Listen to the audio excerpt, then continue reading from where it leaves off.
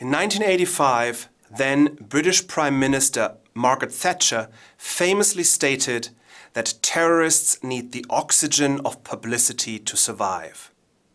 This dependency on the oxygen of publicity and media coverage not only applies to just terrorist organizations, but also to most other non-state armed groups, such as insurgents, resistance fighters, and guerrillas. Not just today, but also in the past. But even though the need for the oxygen of publicity seems to hold for most non-state armed groups across time, there is a sense today that something has fundamentally changed from the past. And to get a better sense of what has changed, we caught up in Washington, D.C. with Peter Bergen, who not only produced Osama bin Laden's first ever television interview, but who also is considered one of the world's most eminent experts on media and terrorism. And there's one question I had in mind.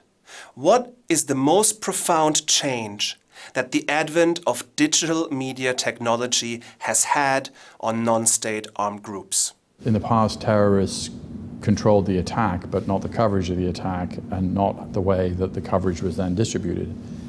Today, we now see you know, an ISIS-inspired uh, militant in Paris killing a police officer and his partner and broadcasting the attack on Facebook in real time.